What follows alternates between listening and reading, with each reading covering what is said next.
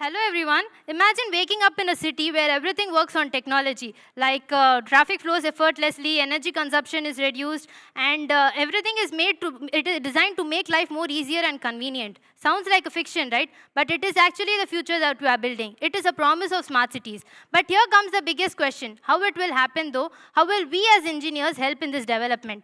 But today I'll be taking you on a journey on how it is developing and how we are building the future of tomorrow. Uh, generally, everyone has a very bad thought, an unpleasant thought about engineering, that uh, engineering is of no use and these things. But to be honest, it, play, it is very important. It plays a very crucial role in, uh, in environmental, uh, like it plays a very crucial role in uh, development of future. Um, so going to the main topic here, um, it is engineering have been continuously and uh, its technologies have been continuously growing in various sectors like healthcare, agriculture, space explorations, and development of smart cities. In healthcare field, many new innovations and advancements have made, which has helped in enhancement in uh, prosthetics and robotic surgeries, and also uh, new with the help of in, uh, in uh, advancements in diagnostic tools and medical fields. Uh, there is a total revolution revolution uh, happening in the medical field and because of that there is so much growth in uh, like so many successful patient outcomes like uh, you know uh, uh liver transplantations uh, kidney transplantations these things are happening very uh, you, successfully and if we grow, move on to agriculture field, uh, many new uh, innovations are being made where sensors have been uh, installed near the crops for uh, continuous observation of uh, plant growth and also devices have been created for storage and uh, which helps in the helps for improving shell life. And moving to the significant topic here, how engineering is uh, helping in the growth of uh, smart cities and helping in transforming tra uh, from traditional cities to smart cities.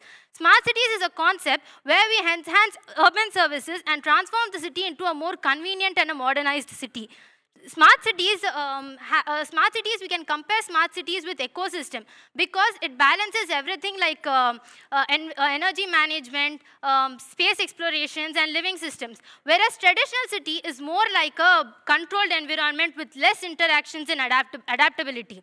Moving on to the key considerations here, there are so many uh, new innovations being implemented, few are in the stage of being implemented. In urban, uh, uh, in infrastructure and urban planning, advancements are made in uh, effective uh, in efficient buildings because uh, the heating cooling and um, uh, the heating cooling of the building is based on the outer uh, uh, external conditions and this improves the enhances comfort. It enhances comfort and reduces energy consumption. And if we move on to power grids in power grids with the help when advancements are made in this power grids it helps in energy reducing in energy consumptions like energy energy energy consumption is reduced here.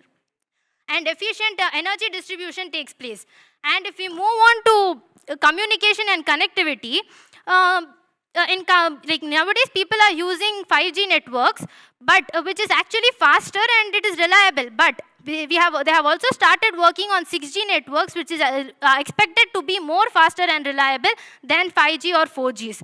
And um, IoT networks are connecting data. Uh, IoT networks are connected with data, sensors, and systems from where we can collect data for various purposes like uh, um, like for uh, public safety or traffic, uh, tra uh, traffic control.